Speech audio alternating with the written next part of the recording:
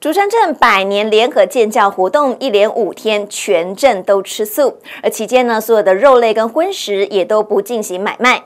配合这样子的宗教禁忌，竹山镇内不少原本卖荤食的餐饮店呢，不是改提供素食，就是暂停营业。不过呢，这卖塑料的业者啊，却因为建教活动，业绩暴增了五成左右。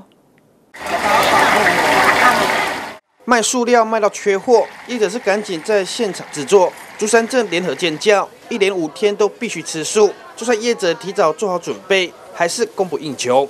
生意有较好，啊，甚至呢，啊，遮有小单，遮一寡卖面食的，嘛拢有来遮咧提素食，所以足配合着咱这类百年的大酒。啊，这样生意至少成长，成长差不多五倍有啦。哦，总共业绩哦，应该有几十万，有几十万。因为包括像森林溪也都，哦，有的大饭店啊什么也都全部都配合吃素。比之前景不景气的状况之下，这样子的话是有增加大概三三成到五成左右。三成到五成。对。它会不会供不应求？哎，会，因为本来就没有预备这么多的料啊，然后包括工厂的的生产量都有增加。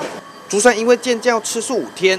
全镇荤食业者不是休息就是换卖五天的素食，就算是全省都有的超市，也配合竞价活动暂停销售肉类产品，卖鹅肉就对。是是。那现在那个竹山做酒的期间，你们就卖纯素，就改卖纯素的这样。对对。原本就是只卖一些鸡腿那些肉的东西啊，因为做酒，所以我们就全部改卖素食。